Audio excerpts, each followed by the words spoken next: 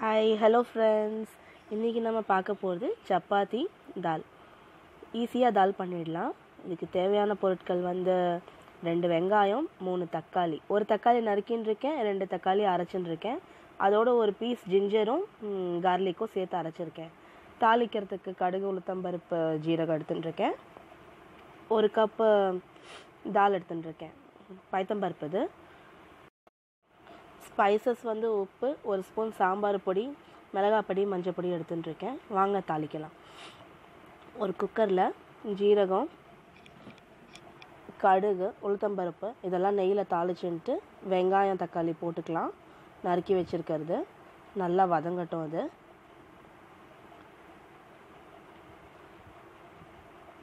கொஞ்சம் லைட்டாக கலர் மாறுற வரையும் வதங்கினா போதுங்க. நல்லா வதங்கட்டும். இந்த தாலுக்கு வேணுங்கிறதெல்லாம் சிம்பிளான இன்க்ரீடியன்ஸ் தாங்க. சீக்கிரமாக ரெடி பண்ணிடலாம். ஒரு டென் டு ஃபிஃப்டீன் மினிட்ஸ்க்குள்ளே பண்ணிடலாம்.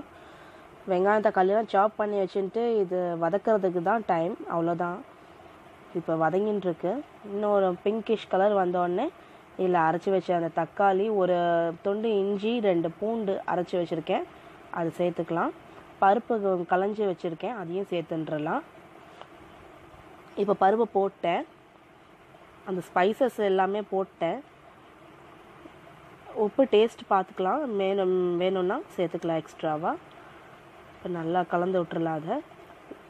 ஒரு கப் பருப்புக்கு நாலு டம்ளர் தண்ணி ஊற்றிண்டா சரியாக இருக்கும். நாலு கப் தண்ணி சரியாக இருக்கும்.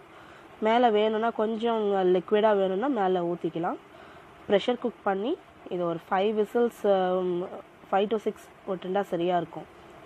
நல்லா பூ மாதிரி வந்து கிடச்சிரும். தால் ரொம்ப டேஸ்ட்டாக இருக்கும். ட்ரை பண்ணி பாருங்கள் குயிக்காக செஞ்சிடலாம். பேச்சுலர்ஸ் கூட செஞ்சிடலாம். கடைசியாக இந்த தால் கொதிக்கிறதுக்கு ப்ரெஷர் குக் பண்ணுறதுக்கு முன்னாடி ஒரு ஒரு ஸ்பூன் அளவு சர்க்கரை சேர்த்துக்கிறேன் நான். டேஸ்ட் வந்து எல்லாம் சம்மன் பண்ணி கிடைக்கும். இப்போ குக்கர் மூடிட்டேன். வாங்க சப்பாத்தி பண்ணலாம்.